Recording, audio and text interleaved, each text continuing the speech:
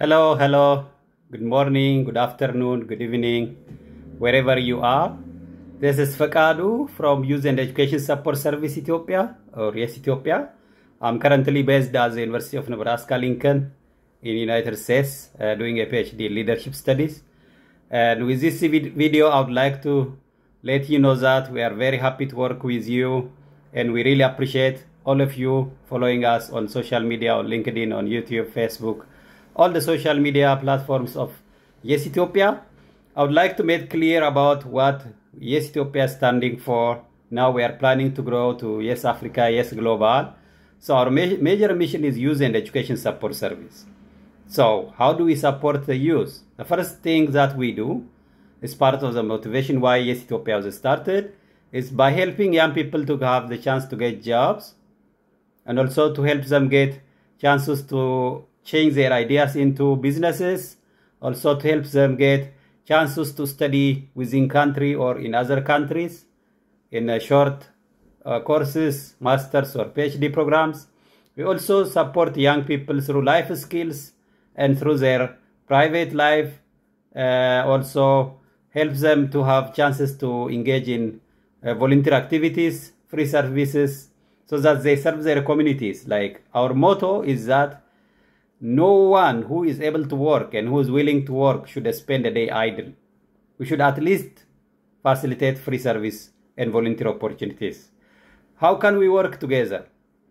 Thanks to technology, thanks to the people that made this internet technology, there are a lot of ways to work together. You don't need to be in Africa to support Africa. You don't need to be in US to start to work with US institutions. We could work together from wherever we are and I'm recording this video to show you our willingness to work together. If you'd like to discuss with us, please join one of our online forums on LinkedIn, on Telegram, or you could also uh, send us comments on YouTube, on Facebook, also on TikTok. Nowadays, even we are on TikTok. Even if the amount of time we have on TikTok is not like uh, possible to make long long videos, most of our videos are a long time because we focus on really educating people, taking the time to discuss ideas and guiding them through uh, questions, whatever they uh, would like to know about. So, I am a teacher. I come from a higher education background in Ethiopia. I've been teaching. That's the career that I know the most. I've been engaged in research. I've been serving the community these days. What I have realized is that we are not using the best out of the internet technology. This amazing technology, this very good platform, which uh, can add a lot of value in what we do, have been abused, misused, and a lot of people get depressed or kind of like demotivated only because they are on social media, while they could get chances to serve the community, chances to discuss their career, their businesses, their, you know, motivations and do a lot of things together. But we, as you know, there are a lot of competing interests.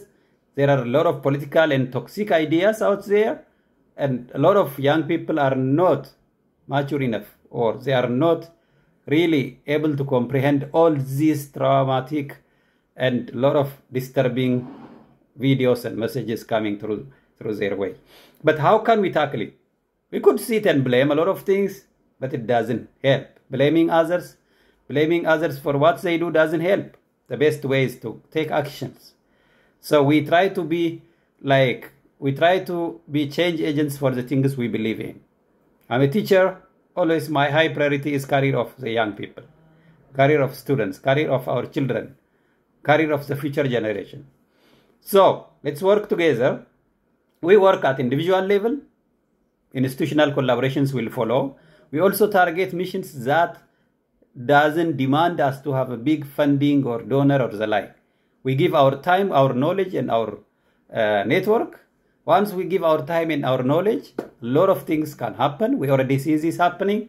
So uh, i apologize because a lot of our discussions are usually conducted in amharic. This is because first we wanted to make impact in ethiopia. But we can really occasionally come and discuss in english or we can you know send to each other this kind of recorded messages and we can really work together so especially those of you working in higher education institutions especially those in Ethiopia, in Africa, please work with us. Also, institutions in different parts of the world, as far as you are eager to work together, learn from each other, our door is really open and we are happy to collaborate.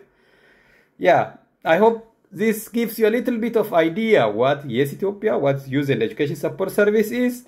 Now it's going to be Yes Global, and you can work with me. And thank you so much. So how we can work together? First thing is join our LinkedIn virtual forums. Send us comments, suggestions, and questions.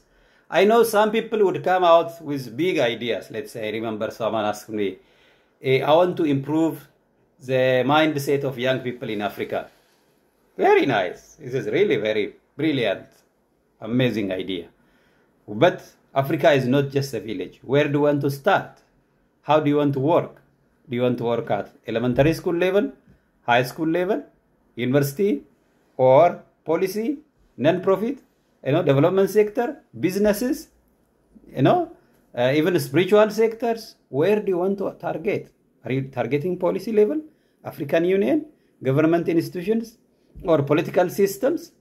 Where do you want to start? You know, it's best to start with a specific, small idea that we can grow. But whatever ideas you have, let's just discuss. Me, for example, what I do, the way I do my um, community engagement is like I focus on answering questions for the young people. They ask me about how can I come and study in United States. I tell them based on my experience. So they'll ask me what are the ways to go and study in Europe. I tell them the steps. Some of them they ask what is the ways to do a PhD in Ethiopia. I have been leading a PhD program in Ethiopia. I know some practical tips, some the things, some of the things that they cannot get from the website and the like. I tell them. For, for example, some of the young people don't have idea about what official transcript is. You know what it means to be a motivation letter, what's a recommendation letter, what's the research for a given field of study. Also, how can they work free services and improve their CV? And how can they be kind of like in a position where they can convince a scholarship interview or job interview, you know, to build their confidence, their communication skills, how they can use the social media. I show them LinkedIn, for example. A lot of young people have no idea about how to use LinkedIn. Even I have seen a journalist who didn't hear about uh, LinkedIn, you know. This is very amazing profile. I mean, uh, social media that have a lot of uh, professionals, but people don't know because LinkedIn is not like other places where you, you know, make a lot of uh, comedies and fun and the like, photos and no. This is where you discuss your professional life and how you engage people professionally. So, but it helps for the young people, for a lot of young people to know about it. So, yeah, yeah, just let me know, please. Write in the comment box. Let me know your comments, ideas, and suggestions, and let's work together. And gradually, even we are planning to grow this thing and become a very big uh, media that only serves the career of young people. Also helps businesses, especially young businesses, to grow. We need in Africa or all over the world, we need small businesses to grow. Young people need to know how to start their own businesses, and they should learn from the senior people. So yeah, we have a lot of people on this platform. I really thank you all for following me, for all the comments and suggestions. And I cannot thank enough the University of Nebraska Lincoln, especially the Department of Agricultural Leadership, Education and Communication uh, Department. I really learned a lot in short time. And this weekend I'm coming to Nashville, Tennessee for uh, Leadership uh, as, Educators Conference, Association of Leadership Educators. I'll be in Nashville, Tennessee. So please talk to me. I have a poster that I'm going to present about lessons learned from uh, rural uh, fellowship, rural fellows program in Nebraska. And I'm really uh, looking forward and thank you very much. And I wish you a lot of blessings.